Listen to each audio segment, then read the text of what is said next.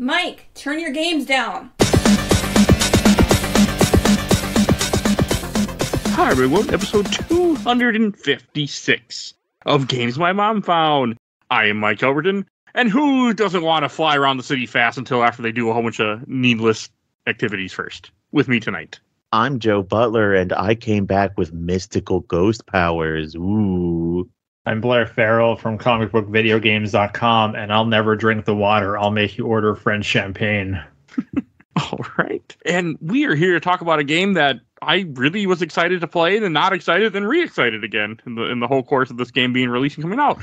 Talk about Gotham Knights, came developed by WB Games Montreal, published by Warner Brothers, and came out for PS5, Windows, Xbox in 2022. So just last year. God, this game's only a year old, or a little over that. Yeah. So and um and as I always like to say, Blair, what is your history with this game? I mean, this game almost made you viral. We got to get that joke out of the way first. Well, it did until I cut it off at the knees. I don't know Um, why. It was it's fucking great. Yeah, the interviews but people. well, that's Oh, the thing. yeah. It's just like I re-reviewed this game because I wrote a review, and I honestly think the mood I was in affected that, and I I didn't. I don't want to be that guy because like I want to talk to game makers, and I don't want to come off as like another contrarian person on the internet. But uh, I was excited for this game mostly because uh, I really liked Batman Arkham Origins. I like the Batgirl section in Arkham Knight, both are developed by WB Games Montreal. So when they announced in 2020 during the DC fandom that they're making a new game with like Court of the Owls and these characters, uh, I was pretty excited until they showed gameplay of like them fighting Mister Freeze, and I could see numbers rolling above people's heads. And then some red flags started going off, and I was still excited, even as it like kind of got into the launch and people were talking about different things. So that's my level of like awareness. We'll get into like the rest of it as we go on through the course of the recording. Oh, yes, man, we will. Blair, I hope another beloved Batman franchise does not incorporate the things from this game into another game. Does it involve the, a squad? Yeah, I'm actually really excited for Suicide Squad, I'm not gonna lie. I, I feel that a I feel that a survey to get into the beta and the beta questions were like, do you like Destiny and Rainbow Six and oh Fortnite? God. And yeah, it was basically, do you like all of these looter shooters? So I'm probably not going to get in. So I click no on all of those. It's like I just want to play a superhero game, guys. I want to, you know, be Captain Boomerang throwing boomerangs, not with a machine gun. But anyway, Gotham Knights. But if you don't make a game with a service, how are you going to make more money? I mean, you don't make money, which is why all these services are going down and people are getting laid off left and right. God. Seeing Oh, these my- buy- Go ahead, Mike. I was going to say my history with Gotham Knights is I saw it come out the same thing. I got excited. I saw the numbers. And I'm like, eh, okay, I'm still curious. But the, I, was it originally announced for PS4 or was it, It was always next gen? They canceled the PS4 version. This is the PS4, Xbox One. They canceled those. Uh, I read a rumor a while ago. I never really dug into it because people really just kind of find something out of nothing that it might be coming to Switch. I don't know how. So we'll Yeah. see if that actually happens. Okay, I mean, and so I was curious about when I first sort of heard it was PS5. I'm like, all right, now I ha- sort of care about getting a PS5. And then I got it in a humble bundle for PC people said it runs on a Steam Deck, which it did. And so that's what I finally I was like, okay, and that that's how I ended up on the show because I got it in a really cheap deal for Steam in a humble bundle, like 25 or 30 bucks for this and a whole bunch of other games. That's my. What about you, Joe? I have also been excited about this game, especially because if you saw a game and then go, because I when I saw the trailer for this, I legitimately thought that we're getting another Arkham game, and it. Well, I'll go through it throughout the series, but this game very much feels like it was going to be an Arkham game, and then someone else got their hands on it, and we're like, well, we can't. But uh, you tell me it's a game where I can fucking play as Red Hood. I am pretty much just goddamn fucking spewing at the mouth excited. And uh, I had a pretty good time. I had, I had an okay time with it, and I'll, I'll also get more into that. But this was also on Game Pass, and I pay for Game Pass because I'm stupid. So it was free. Not a bad thing. If you Yeah. you make use of it. I mean, there's a from what I've seen, there's a lot of good games on Game Pass for people. So Yeah. Yeah, but you know what you can't play on Game Pass? Arkham, The Steam Deck. It's apparently like pain in the ass to set up, and you can do it though. it's it's not even like it's not even download. It's like streaming, and it's like I'm not gonna fucking stream games to my Steam Deck. That's People do. yeah, but I oh so Just depends on your so I, I have a question for both of you. So I played this in the Steam Deck. My game was not pretty majority of the time. Like it was downright ugly when I was in the open world, and I'm assuming that's because I had some of the settings down really low to make it run better. Because this game was downright ugly for me. I mean, I didn't care personally. Uh, I was playing on, like I said, I was playing through Game Pass, and I guess I didn't have my game corrected through Game Pass, and I my game was also fucking ugly. So maybe it's just the game. I last year I played well uh, at launch. I got an Xbox Series X. I didn't play on a 4K display. Now this summer I bought it on PlayStation 5 on a deal to replay it, and I played it one and a half times. I went into New Game Plus. I don't know if it's like pretty. It's just, and we'll get into it. It's just not a very interesting world. Like when you think of Arkham Knight and even Arkham City, they have this Gotham like flavor where it's it feels like this is a constructed world and there's all types of landmarks you can see and this is Gotham City, but it feels like it could be literally anywhere. Mhm. Like it just reminds me of the 2008 Hulk game where it's where you're in New York and you can beat up Trump Tower and all these other places, but they're just buildings with a Trump Tower icon on them. Like there's it, it just feels like a city. I think that's that's just how the game is. Well, mine was blurry at times. Like their faces were blurry and stuff. Oh, but no, I didn't. I didn't really experience Yeah, any that- of that. I, Oh, I I think I had my either. settings too low, so I don't blame that on the game because I I because I watching screenshots. I mean, some of the videos are nice, but every so often when it would get like open world stuff, I think it was just the Steam Deck was also just compensating for the because I probably have it. I didn't. I had the settings. I always set settings low as I can, especially something this new, just because I wanted to run better than I wanted to look pretty. But it didn't. It didn't take away from me for the game. I was just curious if you guys had any experiences like that, or if it was me. You could always Google stuff like that if you try to play something newer. Because I know, like, I really want, I really want to play Cyberpunk. and That's one of the reasons why I bought a Steam Deck was so I can sit on my couch and fucking play it. And uh, the Steam Reddit has very specifically people update like what you should have your Steam Deck settings on so it doesn't look like dog poo. You know, it didn't. I mean, it didn't bother me. Like there was a scene for a long time where when I would drive in the motorcycle, Batgirl's cape would just stay in one spot. like it wouldn't move in the wind. It just went straight back and just stood there. Like I was like, you know, I, those type of little glitches don't bother me, especially on a PC game where I'm like, well, yeah, my settings are really low, so who gives a shit? Like that, none of that took away from the experience for me. I was just curious to what other people have had, but I'm watching a speedrun of the game right now, and the guy's playing it on PS5, I think, and it's much, much prettier than mine was, which is fine. I just wanted to play it. Like I didn't give a sh- I don't give a shit how pretty a game is. I just want to play a game, and this was a really fun Steam Deck game just to play. Except it did drain my battery pretty damn fast, but that's fine. I was usually connected to power at all times, so it was fine. But so one of the things that's special about this game, the whole idea is that the beginning cutscene is you find out Batman died. Spoiler. Oh, and there will be spoilers for this game. That's not a spoiler. This isn't the fucking cutscene that advertised the game, but we will be spoiling Gotham Knights, which came out last year. So I should put a warning in. We won't get into the the real spoiler stuff till later, but I'll try to put our warning in there. But you've been warned. Here's the first one. But so the whole idea is Batman died, and you get to play as the four four characters. That what? How many months is it after he's died? Like a couple months or a year or days? Like I can't remember. I I thought they get I think they get together like right after they he dies. Like they kind of like Okay. yeah. So you're in the Belfry, which would become like the new the new Batcave essentially. It's, it's Batgirl, Nightwing, Robin, but the Tim Drake Robin. Unfortunately, not Ken's favorite Robin. He I know he must have been really he was going to be on this episode, but he Damian Wayne wasn't in it, so he just couldn't join. He was just so upset. Oh, but you get to use Red Hood who has two guns. Bitch. Yes. Hope he listens to this now. But and then you also play as Red Hood. And I mean, to me, that got me interested. So I when I first started playing this game, I, I came into the idea that I was gonna play a Batgirl simulator because I just like Batgirl. That didn't last long. Just because I I wanted to try out everybody and then I just couldn't stop playing as everybody. So what was uh, your experience? I Joe? did the I did the weird thing and I decided to get up and I was like, "Hello, husband. Would you like to play a game with me?" And he's like, "Yeah, I'll play a game with you." So I decided to play as Red Hood, and uh, I was going to switch around the characters, but then I, you know, it was like whatever. And then my husband decided to play as the hold on, he said it quoted the booty cheek creek freak himself, Nightwing.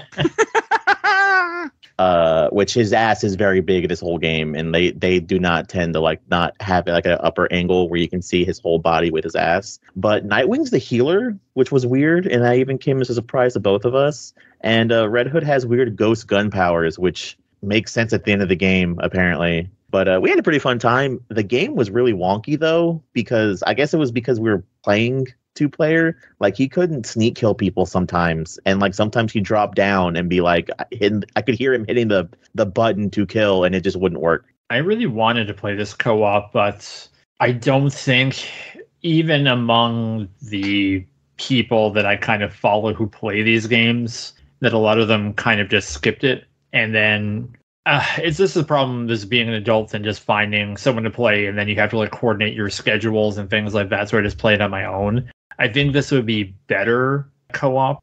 I heard like Victor, Victor Lucas and he reviewed it for Electric Playgrounds. That's how he played, and it sounded like they had a lot of fun. And it's you know like Resident Evil Six uh, is not a great game, but if you play it with someone, it's like makes it that much better. Um, then the second go around, I had a little bit more fun, but I think I would have looked at it a bit more favorably from the top if I would have had a partner.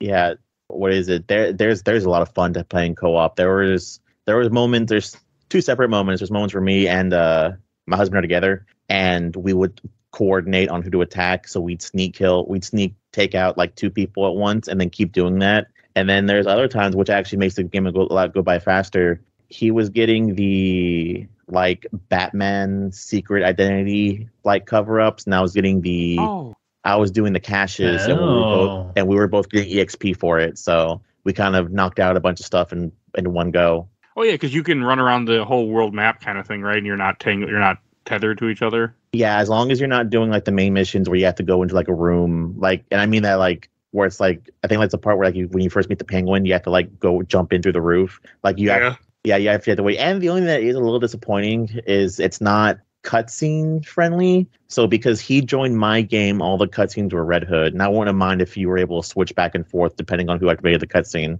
Eh, that's yeah, no, I get that, but that's also kind of whoever's the host type of thing, probably. Yeah, we could switch into it.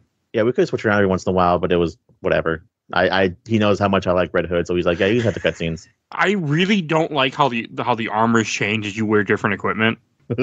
That's a personal issue with Mike, though. That's not a like it didn't take away from the game, but I would have rather just had them in their original costumes because I don't like random stupid costumes. Oh, yeah, so like like I I, I'm thinking of like Marvel Spider-Man because they didn't. I don't know. The suits don't have powers in Marvel Spider-Man 2, but in the first one, they do. you can like unlock a suit and then get the power, but then go back and apply it to like say the default suit, and which you can't do here.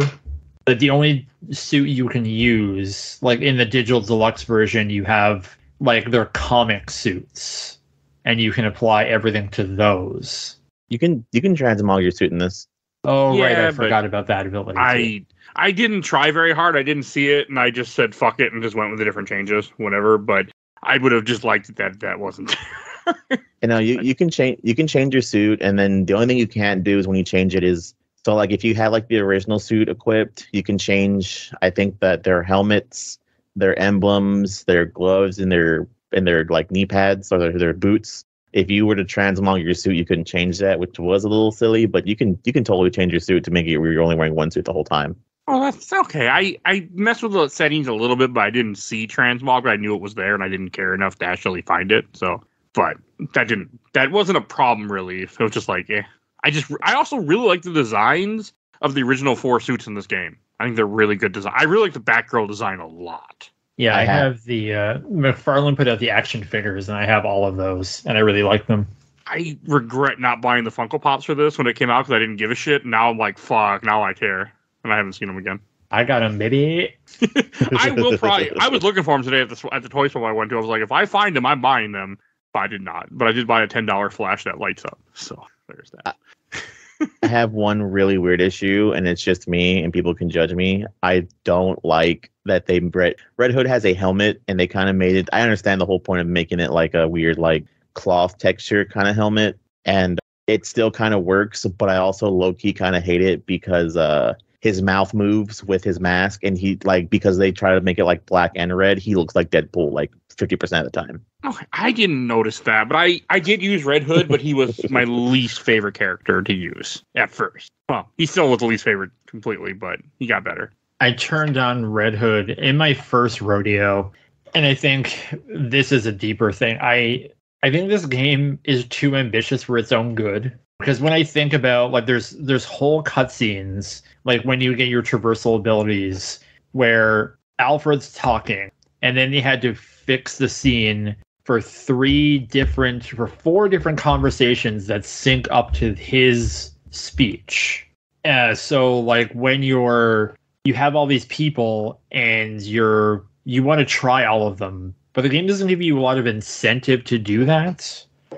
Because when I played the first time, like I, I was using Batgirl and I went through the kind of tedious missions to get my uh, basically to turn on the ability to glide like an Arkham Knight Yeah. and then I wanted to, and I thought, okay, I did this for one, it's unlocked for everyone. But then I realized you had to do that three more times. So I said, F that. I'm not switching characters anymore. But the second time I went around, and it's because I watched Diego Rivera's review, where he played with everyone. So I kind of wanted to experience everyone. And there's a lot of cool story stuff. But, and that's, I, I wish they would have had missions where it was okay this one is red hood specific or this one is batgirl specific but i guess you can't do that in a game where everyone can play and then it's co-op and then two people have to be there like it just seems like so much work like i can only imagine the amount of work that went in from wb games in montreal to make all of this work as well as it does oh god, Yeah. yes. This must have been a fucking nightmare to make this game, just because there's so much to it, and yeah, it didn't sell well either, right? Didn't it bomb? I think it did okay, but not as well as they wanted. And I saw it's like uh, Joe brought up. It's on Game Pass. It's also on Super Deluxe PlayStation Turbo X Revival, whatever the hell that thing is called. Don't get me started with that. I'm so pissed off. They bumped the price of PlayStation to 150 a year. I'm like, are you fucking serious? That's high. Yeah, and It is you high. know, and they don't put any classic games on it, which is why I wanted it. But that's I, I don't even know what the hell it's called. Play extra premium, super deluxe. I don't know, but it's on there too. And Matt Piscatella, I don't know if sort of the NPD group noticed that he like he had data where like the amount of players in Gotham Knights went up a lot after it went on those services. Well, yeah. I mean, it's one of the things that I, I so this game got so many bad reviews, and I wasn't like I wanted to play it, but I wasn't coming into it expecting like a great time. And at first, I I had some issue, but once I realized this is not Arkham, don't play it like Arkham, don't try to dodge like Arkham, don't try to fight like Arkham. I appreciated the game and enjoyed it, but I had to get that out of my head. This is not Arkham because I kept trying to dodge with triangle and stuff. So oh yeah, but like you know, I had to stop doing that, or I would try to like hit people, like not kill a guy, but hit a guy over here, hit a guy over here, like you do in Arkham, where you bounce around from guy to guy as you keep your combo going. That's not the type of game. You want to kill whoever you can kill and then move on to the next guy. You don't want to bounce around if you can help it. Like it doesn't benefit you. And I wonder if that was an issue for a lot of people that they came into expecting Arkham and this ain't Arkham. Probably. I can tell you one thing that was fun. One of the, the probably the worst enemy I fought in this game were the dudes with the shields, where you had to do like a Yeah. heavy attack. That that's actually a lot more fun playing with two people because we would I don't know how we we like no words were communicated, but somehow both me and my husband were able to figure out when he was coming back up. So I would be like beating the shit out of him, and my husband was winding up his attack. So when his shield came back up, he was already like hitting him. And I don't know if it was maybe a glitch too, but there's times where we only did do that once or twice, and he would just be stun locked, and we'd just be beating the shit out of him. That had to have been fun. I, I can to go along with Blair. This would have been fun to play two players, but I just I don't dare. I mean, I I somehow am able to wrangle people and schedule podcasts for you know, recordings. I don't want to try to schedule gaming time too. The only time I done it was with Mike back when he was on the show a, lot. Me and him would do it just because like I could get up like six in the morning. and I know he'd be around. So, but that was a different time. I don't like trying to do two player games. The last time I tried one was, was with Rich for the show. We could not get the fucking thing to run. It was well, thank you EA. EA is what it was. So, What was it like? Dead Space? uh, no, uh, a way out. Oh, I really wanted to play that, and we just could not get it to run. And when I googled it, it was EA. So I'm like, yeah, okay. yeah, that makes so. sense. I was kind of bummed I really want to play that game. someday. I mean, I found it fun with the four characters. I I enjoyed. I really did enjoy switching off between Batgirl, Nightwing, Robin. Took me a little bit to get the feel for everybody because everyone does play a little differently. Like their their timings are different and things, and it took me a little bit to get used to it. But I enjoyed it. I enjoyed. I mean, I am with Blair. Like there doesn't really give you a reason to. For me, it was just I have to do a. Po- I'm going to do a podcast about this, so I want to have a better way to talk about it and a better experience. So I'm going to play all four, and that was my motive for it. But you know, the game itself doesn't like give you like I gave you achievement. It gave me achievement for playing at least once with all four, but that was it. And what I what bothers me too is when I played it this summer, and a lot of it is because I don't know what it is about this year. Maybe it's just the whole James Gunn thing and the Justice League game that came back out back in March. I've been in a huge DC mood all year. Like I all I want to do is play DC games and watch Batman the animated series again. So that's what kind of got me into this. And what's frustrating about when you're trying to do these things because you can't switch characters on the fly. So when you're trying to do something like say the traversal challenges and I do Nightwings and his is turned off for the night and I'm like okay, now I want to do Red Hoods so I have to go all the way back for the belfry, reset the evening, then load out into the world, then go to the waypoint to do his, and then you do that. You're like, okay, now Batgirl. So I have to do the whole thing again, as opposed to just I wish you could just hot swap in the worlds. Like again, like Marvel Spider-Man 2 this year, you go into your app, Spider-Man goes away, and it goes to Miles Morales. Well, hopefully we can get all these things in the sequel that may or may not happen. We ain't getting a sequel. We're not getting a sequel. It's, it's even weirder because we mentioned it earlier, and this is supposed to be like a like a Destiny type thing or whatever. You don't, you can't buy anything in this game like at all, unless I'm wrong. When it first came out, Blair, were you able to like buy loot crates or anything like that? I don't think so. I think there could be an, almost a documentary about how much of our Marvel's Avengers must have affected so many things. Yeah, because this came out before, right? After so Yeah, like, after Marvel's Avengers was announced in 2020. Or sorry, Marvel's Avengers came out in 20 was it 2020 or 2019? I cannot remember. 2019. Yeah. It was before COVID. Okay, it was. Uh, oh, wait. Uh no, PlayStation 5 came out in 2020. Yes, it came out during Yeah. COVID. I And remember working at FedEx when it came out during COVID. So The PlayStation 5 version of Avengers came out like the following year. So I think Marvel's Avengers was 2020. But either way, you can probably say that they were going to do a much like Avengers. And then Avengers came out and they said, oh no, we can't do that because this is a train wreck. Well, not like a train wreck, but all the problems and yeah, it's games as a service just don't. I mean, they work sometimes. Sure, it works for Destiny, it works for Fortnite, but you can't. Not everybody can do that, and developer publishers need to understand that concept. it's not so much publishers it's in it's ceos because they see one game that's like we can make one game and just keep making money but the churn rate for all that is so high and so many of these things are getting canceled and like suicide squad is not even out yet and it's almost out on arrival i wish them the best I do too. except for the fact that you know I will not let them forget that, or not let the public forget that I have a friend who was outed from that game because of toxic work culture at Rocksteady. So that's I won't get off topic other than say that. Don't forget, never forget when it comes out. I don't think I don't think that game's gonna do good just because. So Well, We'll see, because Rocksteady's name still carries something, even though they haven't published a game since Arkham VR.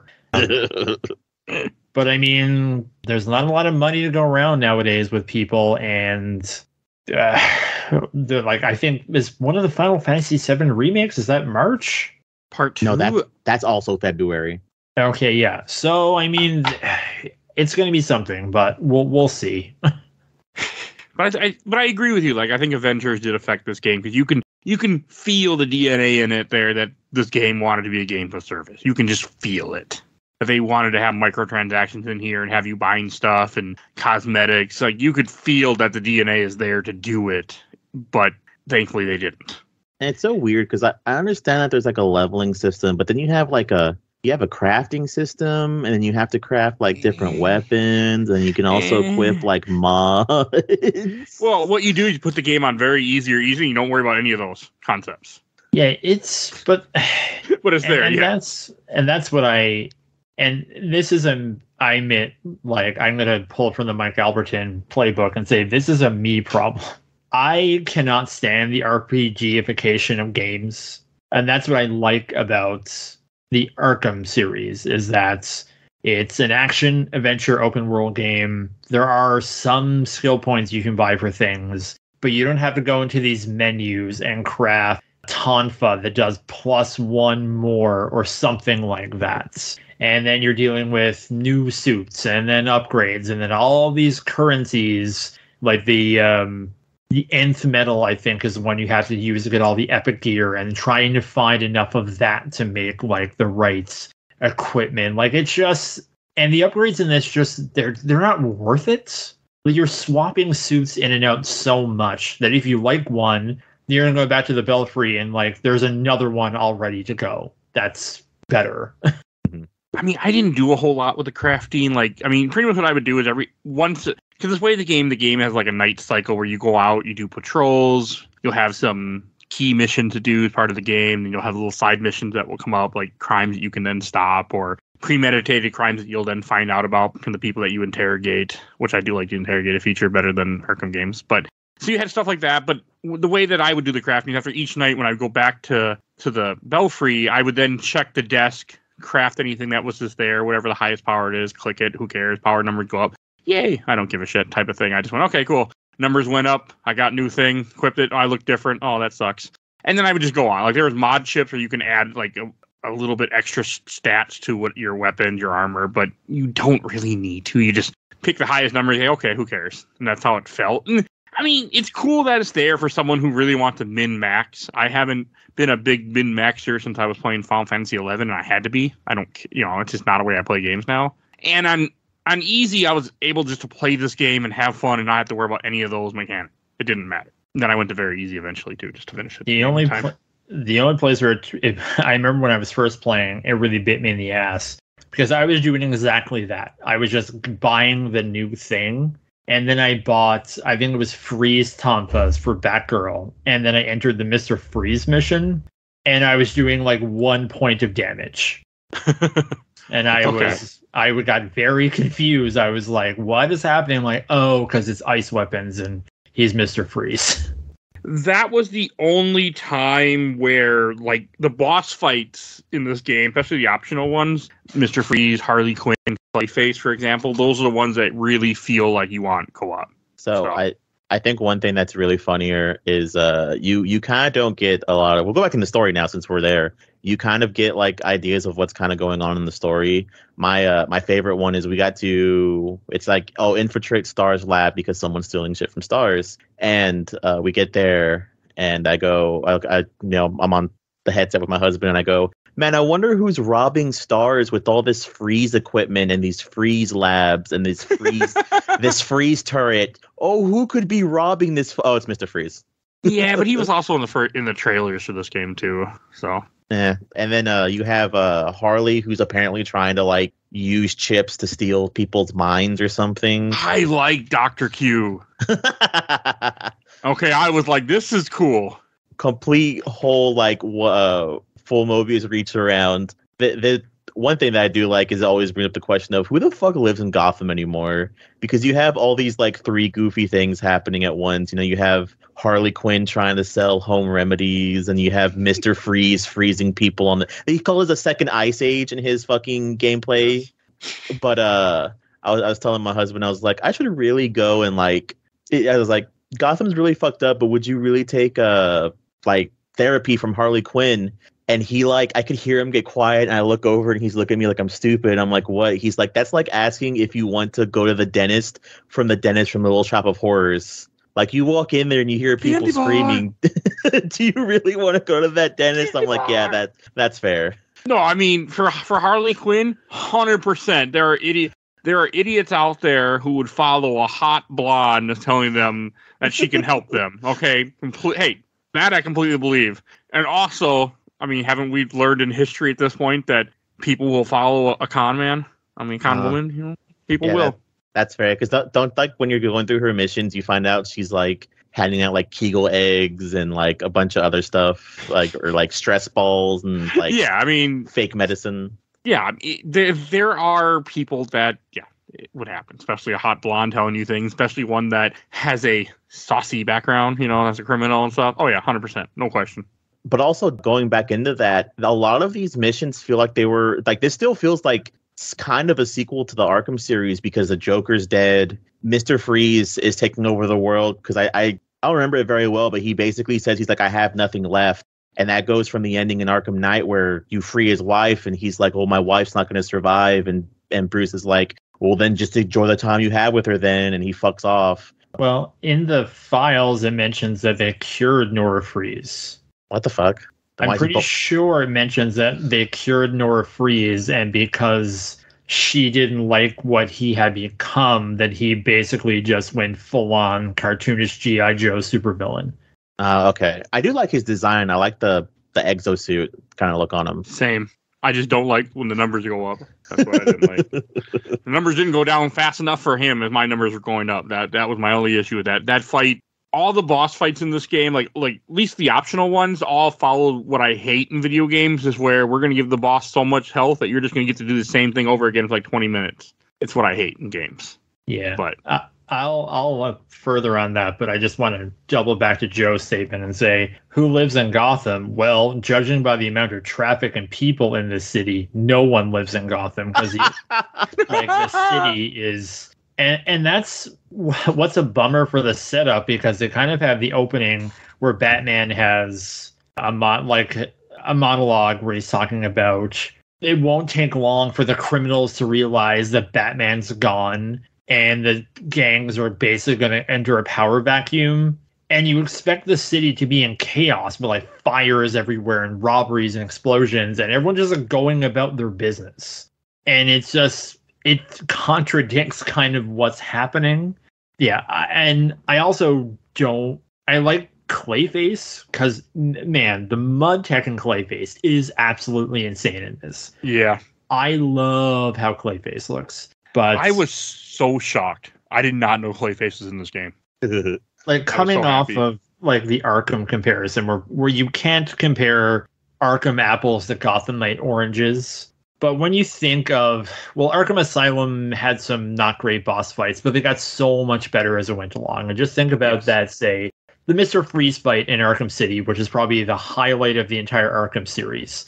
Yes. Where you have to use all of your skills and tools to beat him, especially if you're playing on hard. And here it's just like, well, keep hitting his leg until he falls and hit the throbbing weak point when he falls down. And then there's going to be a little mid cutscene where he's going to go in the air and you have to dodge the laser and he's going to come back down. And it's just those fights where it doesn't, it just feels like you're, it just looks stupid too. Is it he's in a giant mech and like Batgirl is like hitting him with a tonfa, but it's doing damage? like, hey, that the, I never thought I was gonna get to say Metal Gear in a Batman game with Mister Yeah. Freeze. Okay, so check that off my bucket list. Didn't know I needed it, but when I saw Metal Gear Mister Freeze, I want to do a slow clap because I was just like, "Nice job, game! I applaud you." yeah, this, this game Just has like fucking Metal Gear too. Joe was right when I posted in the chat. He's like Metal Gear, and I'm like, "Yeah, that does look like Metal Gear." I do that as much as like this game does separate itself. I love all the character designs. You have Harley, who looks like original Harley when you see her in the cell. I actually like her design when you have her boss fight. I was kind of iffy on the too. weird. I was kind of iffy on the weird like upside down heart on her face, but it, it grew on me. Uh, Mr. Freeze in the exosuit's great. I mean, I don't know what you can say about Mr. Clay. He's a big clay man. They they did that right. They did a really good job of making Clayface just feel like a unstoppable entity in this game. Like the, the fact that the, even to start the clay face mission, you just randomly have to stop a thug and find out the thug has no face and, and is made out of clay, and that's how you start the you start the missions for him. Like Oh, okay. it just happens. You don't even like I did, I was just breaking up a crime because I'm like, oh, a crime, okay, oh, one guy, okay, I'll beat the shit out of him real quick, and then just they're like, oh, it's clay. I'm like, what? So I mean, I thought that was genius. I what was what was I gonna say? On opening the game, I actually liked Ra's al Ghul's design. Ra's al Ghul and Talia both look like they came out of their own adventure because like watching Bruce fight Ra's, he has like all this different like equipment and like he's like pulling shit off of his crossbow and putting stuff on. It almost kind of feels like they were going to be playable characters at one point and then they didn't end up having it happen. You know, Talia's got like a katana and she's got like a gun and she has like throwing knives. I did not like either of their designs, especially. Oh yeah. I know. I, I think I spoiled. I can't remember what episode, and Ken White was like, "Don't talk about Talia and Gotham Knights," as you were you were saying how much you love like ally Talia, and here she's just the villain. Yeah, that that was my that was one of my issues. I just didn't like the way she looked, but again, I like the Talia from Arkham City. That that look, but this look makes more sense because she is Middle Eastern, so this makes way more sense than a white woman. So you know, it was just. But I really don't like her being the villain. That was my biggest issue is that she was a villain in this, and I just do not like villain Talia. But again, it fits Talia, so I can't argue with it. Again, it's a it's a it's a me problem. It's not. It works fine for the game. It fits with Batman lore. It's just a me thing. It's almost as if she died in a previous game and they used the Lazarus pit to bring her back. I wonder if this game was originally supposed to be a sequel, and then like early on in development, they're like, "No, we can't do that." Yeah, I think so. I I 100% think think, so. Book could be written about what was happening because I rem like throughout the years following I guess social media and all the websites about what was rep- being reported and how much of it's true and how much of it is not is led to up for speculation because for years I remember hearing about how there was supposed to be the WB Games of Montreal was working on a Batman game where it was Damian Wayne as an adult following the conclusion of Arkham City Yeah. or Arkham Knight rather. Uh, I would don't know that. if that's true. I have a feeling like a bunch of stuff was prototypes, and But- then this is what came out, which is in my first review. I just quoted the Mr. Burns thing where he's like, "We did 38 takes, and that was the best one." or like, I can't remember the exact number, of what he says, but like that's what I thought about.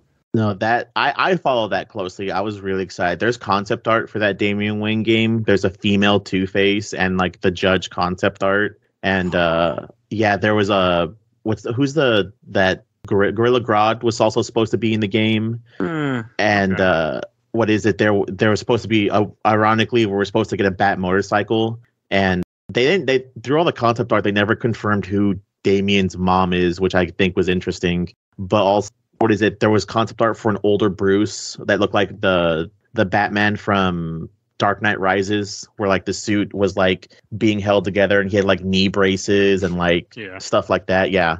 Okay. That, that would have been cool. I mean, I, I wasn't there a Batman Beyond game in production too at one point. Yeah. I mean, we these things are rumored, and, and I know someone because it came out recently. Someone was, I think it was Jason Schreier was confirming because the the um the video went up about Justice League kill their Jesus, uh, Suicide Squad kill the Justice League. Boy, I wish it was the other way around. Um, I just want to be Superman, care about Captain Boomerang with a machine gun. Uh, I can't say this enough times. Uh, that someone said, I can't believe that WB basically told them to stop making the Superman game that they pitched. Because apparently that was a rumor that they wanted to do Superman and then the WB overlords said no. But then Jason Schreier, who I mean is a well trusted reporter, basically confirmed that there was never a Superman game in development from Rocksteady. So I don't know how much of this is speculation. I, Yeah, that's weird because I, I could have sworn they were saying something that that's why Suicide Squad takes place in Metropolis because they were using that city design. I mean, it could have been that like there was ideas, but nothing got off the ground. Or I also think sometimes video games people start to make stuff without actually having, you know, any like been paid to do it yet. I believe that. these, so there could be these- something like that too. these people weren't doing anything for like both studios like rocksteady again they did arkham vr i think that was 2015 16 and then their next game isn't coming out until february of next year that's if it hits that target release date without getting delayed again and wb games montreal it was almost 10 years between their first full game God, there like- must have been. I feel like you have to be making something between. I mean, there's no way this game took ten years to make. So Well, I mean, I mean, they helped. They there was probably they probably did, like assistance work on, say, like a Lego game or other WB projects or or things like that. So they probably weren't just idle, but not to have anything in like full production for so long. And I mean, before recording, you were talking about some of the other things that you were playing.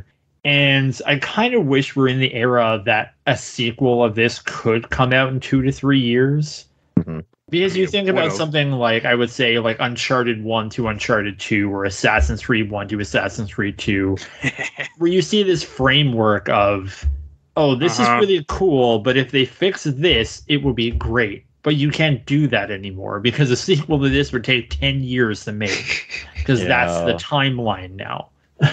I mean, you really could have just taken the guts of this and and made another game. I mean, I had no really issues with this game, but I do agree a sequel would have been amazing. Well, that's what they've been doing. Is they they've been taking the guts. That's how they took. So they it, it was all it was like five years, I think. But that's what they basically did with God of War. They they were like we're reusing a bunch of the stuff because it would take like, and that's why they're not they're not making a third one as of right now because they're like we don't have time for everyone to wait five years for a second game and then another five to seven years for a third game. So then so Ragnarok's gonna be like the finale of this like two part story. Oh, that's too bad. But uh, speak uh, doubling back around. You know what legitimately surprised me about this game?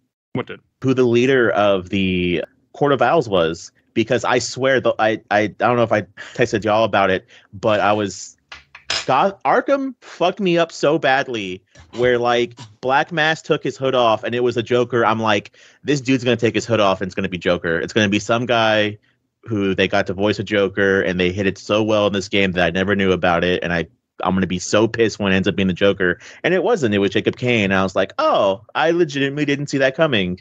Oh, you were not surprised that the only other male character around that size turned out to be the big bad. I mean, they could have not revealed who it was in general. You know. so yeah, I. yeah. w- The only reason I knew who it was because I was watching a YouTube video that to kind of like because I was a little confused when I started playing this game, all the different systems, like how to play it. So I watched a video and the guy's like, "You know, this game's good, but the story you already know immediately who the Court Owls guy was." I'm like, "What are you talking about?" I'm like, "Oh, you asshole!" I'm like, "Well," then I figured out oh, Jacob Kane before they revealed it. But had I not seen that, I wouldn't have put two and two together. and that's that's what I, I get really frustrated with things like this is i love to play a batman game that's actually structured like a traditional murder mystery where there's three or four suspects and you don't know who it is as opposed to we're going to introduce one other character who's not an established villain and i mean i could spo- i don't want to spoil a movie that i saw recently but it was the same thing where there was a big reveal and i was like you know of course it's that guy he's the only other person they've talked about in this entire movie You're, you're gonna have to. Ch- is it a recent movie? I, want to know what it is after the podcast. yeah I'll, I'll tell you after if you haven't seen it already but and the thing like because that's something i was excited when they announced the the announcement trailer was a court of owls. And they had the in the in that story it was the character and he said he was bruce wayne's brother. And it's ambiguous. I, I don't know. It's been a while since i read the, those comics. But you never really know if he's lying or not. And that's interesting Well, Blair, if you want to get a rehab a recap without reading them, there's a podcast episode on this on this very show about Batman Court of Owls. what So go check that out. But yes, please keep going. but they they they do. I, I, it's it's funny that we I talk about how like the Court of Owls thing was was like the who was leading it wasn't a big was a big surprise for me. But I I I, won't- I don't know if I was spoiled or if it saw it. I mean, obviously anybody could saw it coming, but then bringing Bruce back to the Lazarus Pit was not a surprise. I'm like, oh yeah, that was bound to happen. Yeah, it's a giant plug leading back to the Batcave from his grave, which is exhumed. I disagree. I was completely surprised, jaw dropped when that scene happens at the end of this game. There's literal breadcrumbs. I didn't say it was a good that I was surprised. I'm just saying I was surprised. I'm not saying that. I mean, it goes both ways. I mean, I I should have figured out it was Jacob Kane. He's like like Blair said, he's the only other character they reveal in this game. I'm I'm also surprised that like whenever his wife walked up, he's like, "My wife will get me out of this," and she just walks up and goes, "You motherfucker, I'm gonna kick your fucking ass." yeah, that was cool. And like the fact that the police are trying to murder you all game because of just, you know, they're no longer working with, you know, because Batman and, and Gordon is dead. Like, I liked that. That was fine. I didn't have a problem with her being against vigilantes because honestly, that makes sense. But hey, you know. So we we also go through like one of the things that I know Blair was talking to do it, but you can you should switch characters to watch everyone's cutscenes. The cutscene thing I was watching, I was already planning on doing it anyways to watch everyone's cutscenes. There's a there's a part where Barbara is like she's doing like some kind of weird thing where she's putting dolls up and she's trying to solve like a murder that her dad had. I legitimately thought she was recreating the scene where she got fucking shot by Joker. That's fair. That is a fair statement. Because there's like it. there's like a person like lying out on a table and it like legitimately looks like the way she fell in the uh in the the killing joke yeah, no, you're not wrong. It, it it it does. Like when you first see it, I thought the same thing that she was reenacting how she got shot because she makes a comment about her not being able to walk or something at one point, or some kind of comment about her being having to heal from something. So I was, and they never say that that happened, but I'm like, you're insinuating this. my my other also favorite part is whenever they're there so the the cutscenes take place in different areas in the like living room which is like up top where they have a tv i love how every time someone talks you can always see the pride flag like behind someone and that's like the funniest fucking thing ever and also uh dick having a Bludhaven bisexual coffee mug is also the best thing ever i love this game this game gets a lot of points for me Okay, I didn't see that, but that's cool. Yeah, Um, that- oh, sorry. Go on. no, go ahead blair That's something I wanted to bring up. Well, first thing, something that I do remember about the Court of Owl comics, which frustrates me about this, because they did an annual, and it was about, and they did a twist on the Victor, on the Mister Freeze story, where in the New Fifty Two, as opposed to Nora being his wife, Nora was someone who was already frozen that he became obsessed with and made his own relationship and they talk about how the Court of Owls incorporated Mister Freeze's tech into their regeneration system, and that would have been a great way to make Mister Freeze more integral to the story because Fair. All the bosses and they just seem like such a big distraction. Whereas like Arkham, they were they they weave them more organically. So one of my favorite parts of this game is the emails which they also speaking about pride because they mentioned about how they should like have make pride costumes and then go out Yeah. on parade and everyone thinks it's a good idea yes because a lot of the emails are written by ashley cooper who's a trans woman and she's working on the new iron man game from ea i believe she's senior writer on that and all those emails are great like they have ones from like like black canary and and superman where he's just like, oh, he's so supportive of Dick and he just wants to know how he's doing. And it's like, oh my God, bring these people in. I want to see Superman so bad. oh yeah That was going to be in the sequel. and you, if you change characters, like that gives you incentives. Each character has different emails. Yeah, Jason has emails talking about how he's been going to see a therapist. I think that's pretty cool. And I didn't read the emails, even though someone told me I should. I tried, but I just didn't. I know Blair, you're like, you should read emails, and I started to read them. I'm like, I just can't. and if uh, one of my favorite things I didn't realize is that I think it was intentional on Ashley's part, where she there's an email that's basically like the YouTube channel Stop Skeletons from Fighting. what? Like it's a full on like. Have you ever watched Stop Skeletons from Fighting? No.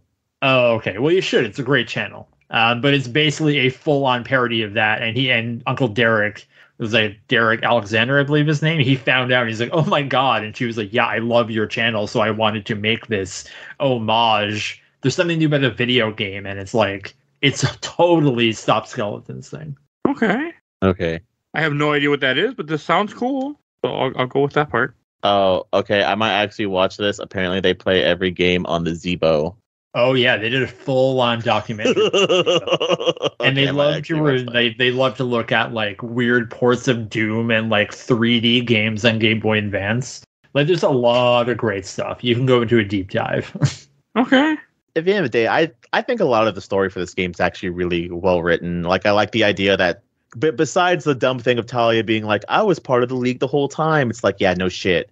But uh, like the whole idea of like, oh, the the Lazarus, the Court of Owls has been trying to find the yacht, the Fountain of Youth, which is basically just a Lazarus pit, and then her basically sicking Ra's on uh, Batman so they could kill each. Because she, I guess she knew they would kill each other.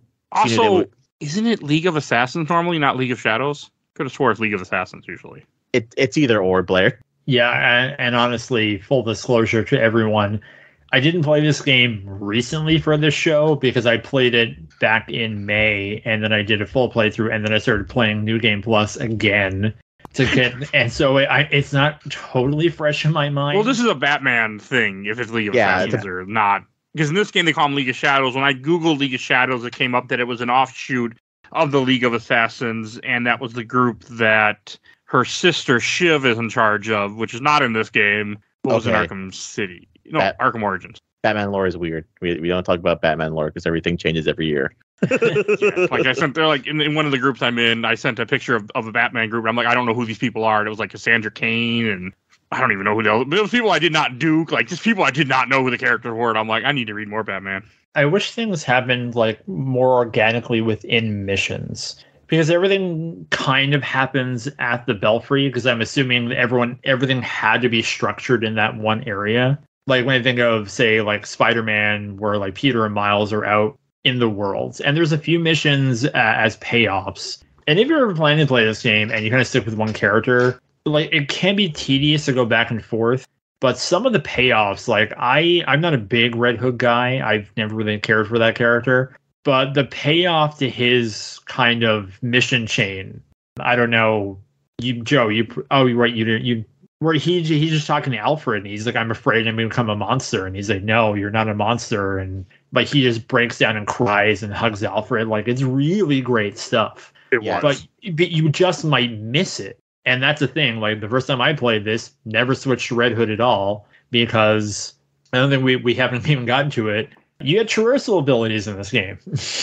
uh, and instead of them being there at the top, you have to do this this knighthood mission, um, which is really tedious because uh, a lot of the side missions in this are just beating up the same couple of people over and over again, and it's really boring to get around the map, uh, which is a big problem for an open world game, especially the way this world is designed. Because there's like four or five different islands, and it takes so long to get anywhere, even when you unlock fast travel. I was gonna say. Um, I disagree. Well, I agree and disagree. Because the bat cycle sucks. I didn't mind just cruising around the Bat Cycle. I didn't have a huge problem with the traversal system in this game, especially after playing other games after this that are open world. But that's neither here nor there. But I played this first. But no, it just it didn't like. Sure, it was annoying that you had to do these stupid things, in my opinion, to unlock stuff that, like Blair said, should have been there. The idea that the that each person had their own special travel, but I, I got over it pretty quickly and I didn't have a problem with it. I actually didn't mind when I put the bat cycle on and just driving wherever I was heading. It didn't bother me a whole lot. See, I, I just wish they would have did something with the bat cycle, even if there was a, a turbo boost or something you could Yeah. unlock. Yes. That gave it like a little bit of something, or put some weapons on. Like it doesn't have to be the tank sequences again, because I mean, towards the end you get challenges where you have to drive through rings, but this is just gold brick stuff in a Lego game.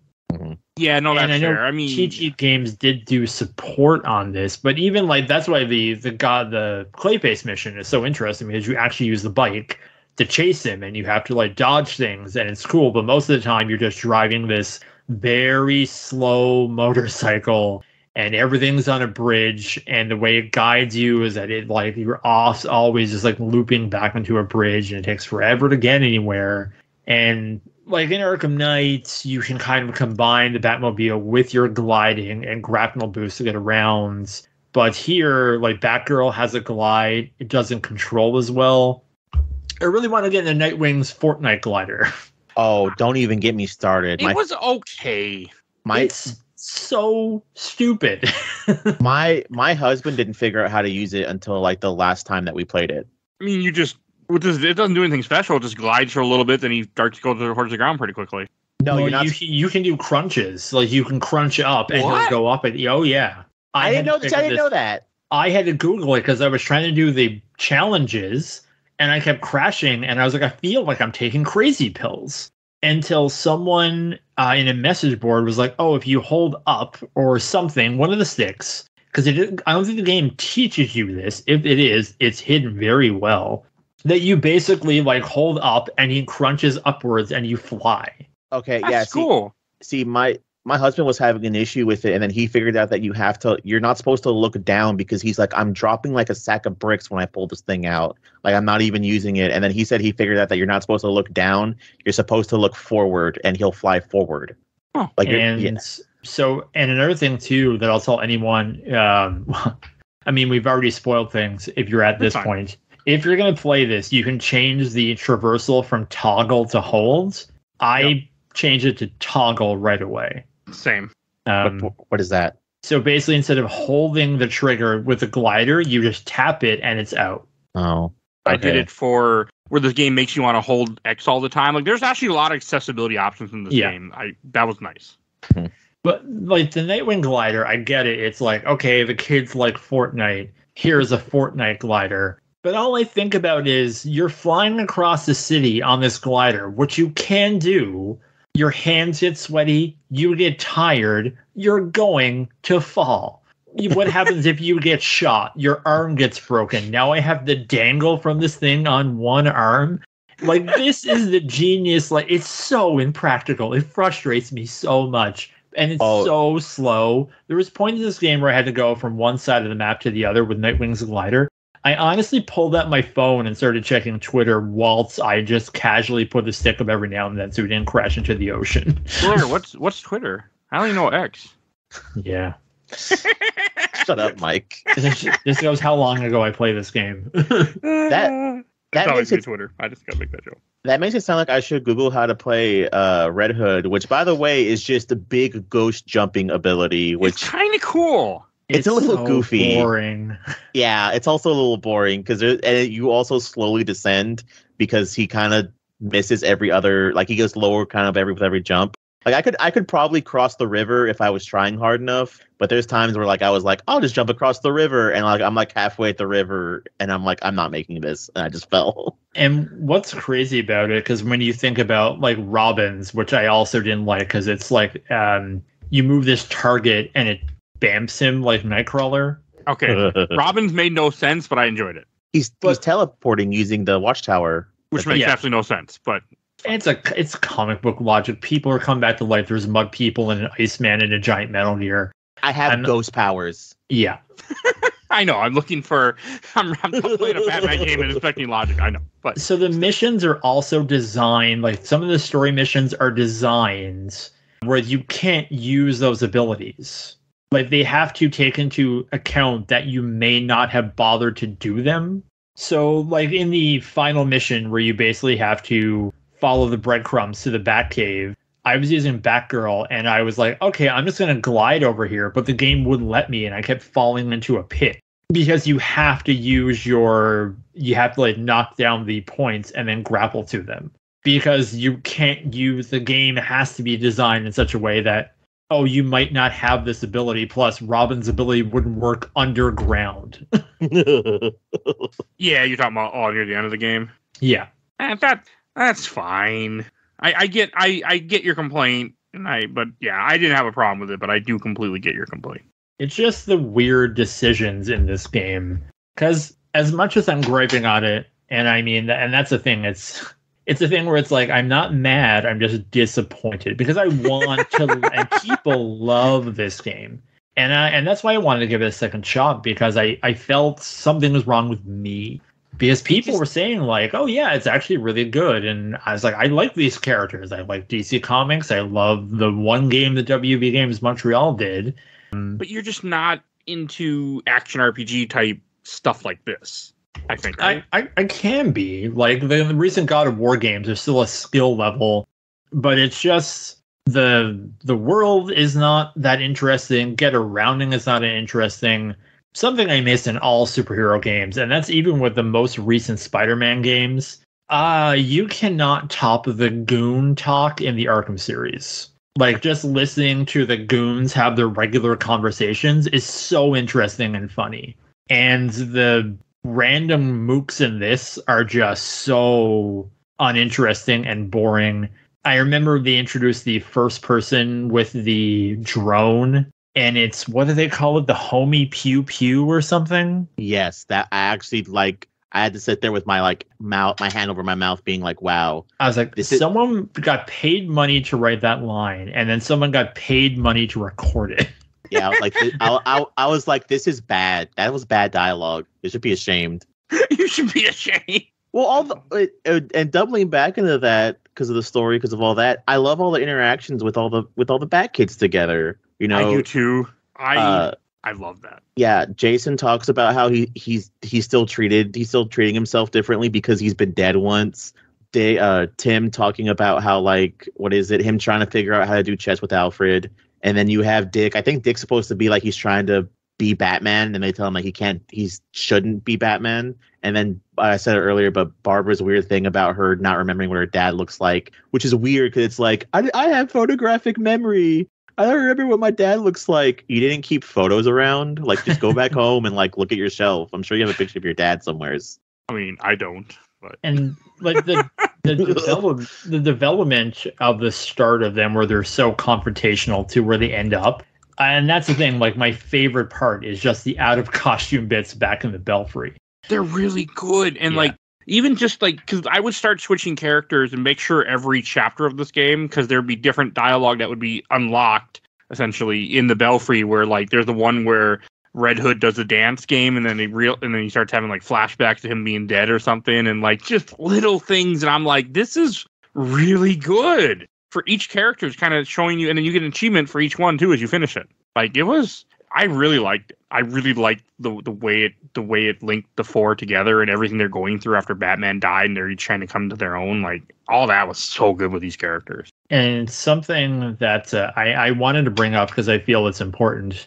Uh, so this summer, I was at a panel uh, for Alyson Court, who, if you don't know, is the voice of Claire Redfield and Jubilee on the original X Men series. She's not going to be in X Men '97, uh, and she was talking about being a voice director and how they wanted to cast a person of color as a white Disney princess and she was told flat out you can't do it because once the MAGA crowd find out that this white person is voiced by someone of color, they are going to freak out and that person's life is going to be made a living hell. Mhm. But in this game, Red Hood is a Caucasian male voiced by an Asian man. uh, the Oh. same same actor who played Mr. Negative in the Spider-Man game, Stephen. Sorry, pronounce your last name Wang, O Y O U N G. Yeah, it's a, it's Mr. Negative. Oh, huh. I'm surprised I didn't realize that because I that's played cool both. I played both Spider-Man games recently. also, uh, go, going into my weird like favorite character. At first, when I saw this, I wasn't a big fan of like Red Hood being the tank and Jason Todd being like this big like buff guy. But playing this actually made me like it had made actually made it like grow on me, and I actually really like enjoy the new character design because it's something different. Because I'm sick of always like here's here's Dick Grayson, here's Jason Todd. Oh look, they're exactly the same except their hair is a little bit different. And I guess it's supposed to imply the big scar on his head is supposed to be from the Joker beating him with the crowbar. oh yeah, Yeah, that's how I took it Yeah, me too. Yeah, okay. and I gotta say I am so happy that Joker is not in this damn game Honestly So happy. surprised. Legitimately surprised. Well, that's because the game feels like a sequel to Arkham, like it was supposed to be, and it's fine. Like me and Ken had brought this up before. Ken especially has like Joker doesn't need to be in everything with Batman, and so much stuff that isn't a comic has Joker in it. So it was kind of nice to get away from Joker, and I really love the fact that Court of Owls in this. I was also looking up that there's not that much Court of Owls stuff. There's only two comic arcs where they really like play a big part in one movie, and then this game, and that's it for Court of Owls. And they're in a season of Gotham at some point. You know what uh none of us played though, which is part of this game as well, and I don't even know if well, I'm pretty sure Blair knows about it. I don't even know if Mike knows about it. I'm not sure. Did you play Siege mode? What's Siege I tried because basically po- there was post-launch content where there's essentially Marvel's Avengers style raids. Uh, I think they're up to four players, Yes. Yeah, I saw it. And one is about Starro, and the other Yeah. you just play the um, you fight do random floors and you fight the villains again. Yeah, you you have to pre- you have to protect Starro, and Starro's like I think like controlling people to come free him. So you basically just have to like it, it's basically like a raid mode. where you have to protect him from people trying to break him out, and he has like goofy lines of dialogue and stuff. And you like the email, the email triggers from Wonder Woman, and she says something like, "Oh, Starro's there, but we don't have time or something because you guys would take care of it." Okay, that's kind of cool. I, I saw a little bit about it, like the hero- I saw heroic things, or like you need a you know you need to have your power level this high, and I'm like that's nice, and I just never came back. It's a power 'Cause I level can tell that like high. Also, this like you have to get like nth metal gear, so it's like the most epic rare gear and chips. I just And it- didn't give a shit. But luckily, you don't have to. Like you can just play this game and experience it, and you don't have to worry about stuff like that. Especially on easy or very easy. I mean, this game did stealth, but it doesn't make you do stealth that much for the most part. Like you don't have to be stealth, which is fine. I mean, let's talk about that for a second because oh boy, I do miss stealth games where people weren't absolute morons. They just basically stare at walls. Yeah. Like you'll have a guy next to his friend, and I'll be choking him out, and he'll be like, "Oh, I wonder if it's gonna rain tomorrow." And then you get him because you you kind of have these bonuses where if you take down, it's like, oh, get so many enemies without being seen, or take silently take down so many enemies, and you can do it, but it's really pointless because it takes longer to set up the stealth kills than what it is just to beat the living hell out of people. Yeah, I mean, it depends, I guess, if you want to do it. I mean, I would do some of like the side objectives for different missions, but not often. It just wasn't my thing. And that's, I mean, you don't want to do the Arkham comparison, but like the Predator sequences in Arkham where they get harder as you go along and people get frightened and they get panicky and they start shooting and then there's traps set up that you have to deal with. And this is just people are have the same patrol routes or they're just staying there and doing nothing.